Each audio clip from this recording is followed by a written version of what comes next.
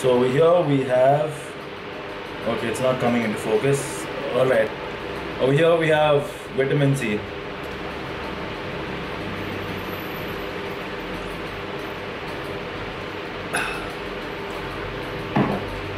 So vitamin C is just a health supplement. I wouldn't say it's a bodybuilding supplement or a muscle building supplement. But yes, vitamin C will help you with your immunity, with your skin, and definitely some other health benefits. Just oh god. Alright, yeah. Oh, wait. I don't know what's happening with my camera.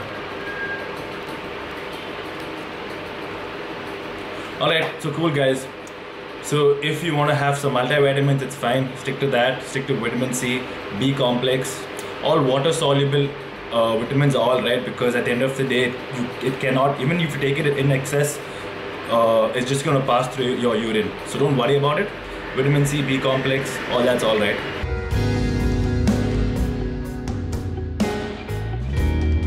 Well guys, so today's video is going to be a little bit different. I'm going to show you my post-workout meal and how I implement flexible dieting. Remember guys, above everything, make sure you count your macros. You hit your macros per meal and make sure at the end of the day, you take in the amount of calories you require and you hit your macronutrients, your protein, carbs and fats.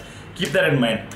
Obviously, do take into consideration the quality of food. You have to have complex carbohydrates, a good source of protein and a good source of fats.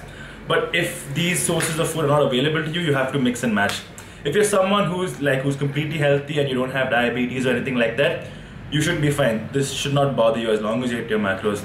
So guys, dieting doesn't have to be that hard and your food doesn't have to be bland. You can make it tasty and a lot more easier for you to diet. You definitely can put in the foods you like. Just make sure you're tracking your foods. Another important tip guys, so there's this app called MyFitnessPal. I'm pretty sure you guys know a lot about it. So just get the app, just punch in whatever food you eat throughout the day and just calculate. That's going to give you a much better estimate as to what you require during the day, or sorry, as to what you take in during the day and where you stand. Keep that in mind guys, it's going to make a big difference and it's going to help you reach your goals. At the end of the day, it's best for you to keep track of what you're taking in and for you to count your calories and your macros. This is very important guys because you have an idea and a rough estimate as to what you're eating in throughout the day. So if there's anything you need to change or any problem that you're facing, all you gotta do is just look back and see whatever food you're eating in. Make minor changes here and there and then you know you can see results or you can overcome that plateau. Hey guys, what's up? So I just finished my workout. Now it's time for my post-workout meal.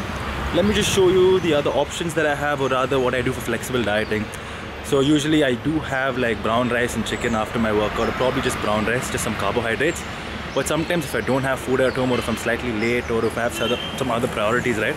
I just get some food from outside. So today I'm going to show you what exactly I do. So for today I'm here at California Burrito. It's more or less like the Indian version of Chipotle. Um, probably pick up a rice bowl. Well, let's see what are the options I have or what I can do over there. So let's check it out. Yes, so here I have, you have your lettuce, rice, rajma, your sour cream, a little bit of cheese as well. You know, just to get in those extra calories. So in this meal, I'm getting about 600 calories, 12 grams of fats, 75 grams of carbs, and about 25 grams of protein. Well, it's a perfect well-rounded post-workout meal because I have all my macronutrients in here. Exactly post-workout, what I would like to have is a nice carbohydrate meal. Something high in calories as well, just to uh, replenish my glycogen and to give me back all the energy that I spent during my workout.